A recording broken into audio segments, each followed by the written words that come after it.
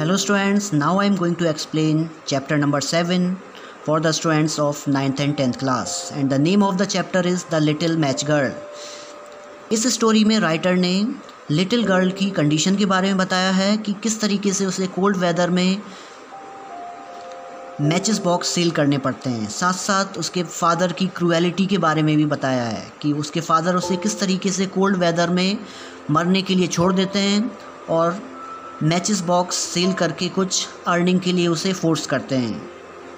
जिसका क्या इम्पैक्ट पड़ता है उस पर कि फाइनली द लिटिल गर्ल जो है वो नहीं बच पाती है। यानी कि उसकी कोल्ड वेदर की वजह से डेथ हो जाती है। Now we will try to understand the summary of this story it was a terribly cold and dark evening मतलब डार्क इवनिंग का टाइम था। The last evening of the year that means it was the last evening of the year In this dark and chilly evening, a little poor girl was sent by her father to sell matches. matches.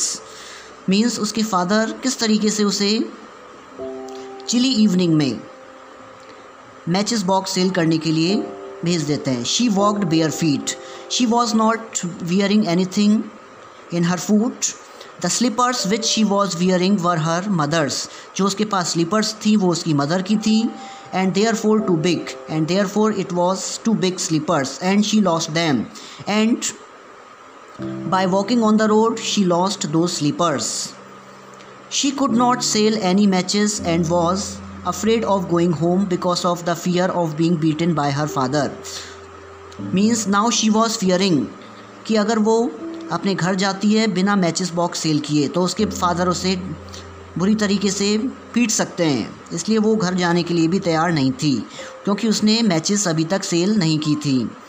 She was shivering with cold and hunger she was suffering from the cold and hunger but continue to move slowly लेकिन वो slowly slowly आगे बढ़ती गई, ठंड से कांपने के बाद भी।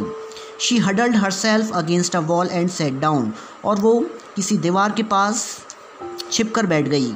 Her hands became numb and to keep herself warm she lit a match तभी वो एक मैच की एक स्टिक जलाती है।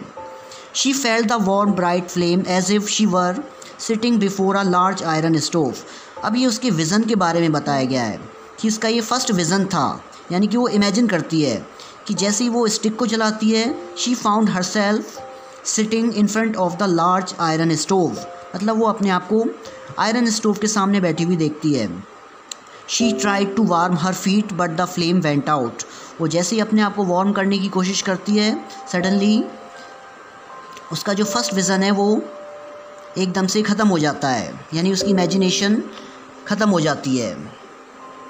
She rubbed another match against the wall and as the light fell on wall it became transparent अब वो second time जब वो मैचेस जलाती है from where she could see the inside of the room उसे ऐसा दिखाई देता है कि वॉल जो है ट्रांसपेरेंट हो गई है और वो रूम के अंदर तक देख सकती है। She saw on the a table a roast goose stuffed with apple and dried plums she was suffering from hunger मतलब वो हंगर काफ़ी हंगरी थी, इसलिए वो गूज यानी कि एक मीट देखती है। और जो कि जिसमें काफ़ी सारे ड्राई फ्रूट्स भी थे which hopped down from the dish and came up to her और उसे ऐसा इमेजिन होता है कि वो टेबल जो है उस पर से जो रोस्टेड गूज है, वो ऑटोमेटिकली उसकी तरफ़ आ गया है। The match went out and she had nothing but a cold damp wall but suddenly इसका सेकेंड विज़न भी डिसपियर हो जाता है। She lit another match and this time she saw a huge Christmas tree lit up with thousands of lights on its green branches. Third vision में उसे क्या दिखाई देता है? एक बहुत ही बड़ा क्रिसमस का ट्री दिखाई देता है उसे। But the moment she stretched her hands towards them the match went out लेकिन वो जैसे ही उसकी तरफ़ अपना हाथ बढ़ाती है her vision disappeared she felt as if the lights of the Christmas trees were going higher and higher and forming the stars और वो क्या इमेजिन करती है कि स्टार्स में कन्वर्ट हो गई। सारी लाइट्स जो उसे दिखाई दे रही थी वहाँ पे। The little girl then saw a star fall and thought that someone might have died और उसे क्या इमेजिन होता है कि अभी अभी किसी की डेथ हुई है। As her grandmother had told her that when a star falls a soul ascends to God क्योंकि उसकी ग्रैंड मदर ने उसे क्या बताया था कि जब भी कोई तारा टूटता है तो इसका मतलब क्या है? कि किसी की सोल गॉड के पास पहुँच चुकी है। सो so, इसका थर्ड विज़न भी एंड होता है यहाँ पे। She drew another match and in the light she saw her loving grandmother when she strikes the match again she saw her loving grandmother इस बार उसे उसकी ग्रैंड मदर दिखाई देती हैं। उसके फोर्थ विज़न में यानी जब वो फोर्थ टाइम इमेजिन करती है। This time she thought that if the match were to run out her grandmother would disappear और वो क्या कहती है कि अगर वो मैच मैच की स्टिक बुझ गई तो उसकी ग्रैंड मदर भी डिसपियर हो जाएँगी just like the Christmas tree before so she struck the whole bundle of matches इसलिए वो पूरी की पूरी मैचेस बॉक्स को जला देती है। On the wall and there appeared a brilliant light और चारों तरफ़ लाइट ही लाइट दिखाई देती है। She pleaded with her grandmother to take her to heaven and both of them flew in brightness in joy to be with God तो next line में बताया है कि वो उसे ऐसा इमेजिन होता है कि हर ग्रैंड मदर उसकी ग्रैंड मदर उसे हेवन में अपने साथ ले गई फोर्थ मैच स्टिक जलाने पर। बट एक्चुअल में क्या हुआ था कि because of the suffering from the cold यानी कि कोल्ड में लगातार वहाँ पे बैठे रहने की वजह से उसकी डेथ हो जाती है।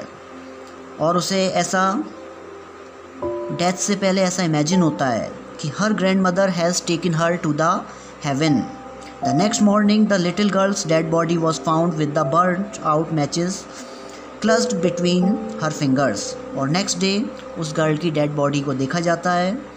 जिसकी फिंगर्स के बीच में कुछ मैच स्टिक्स दबी हुई थी।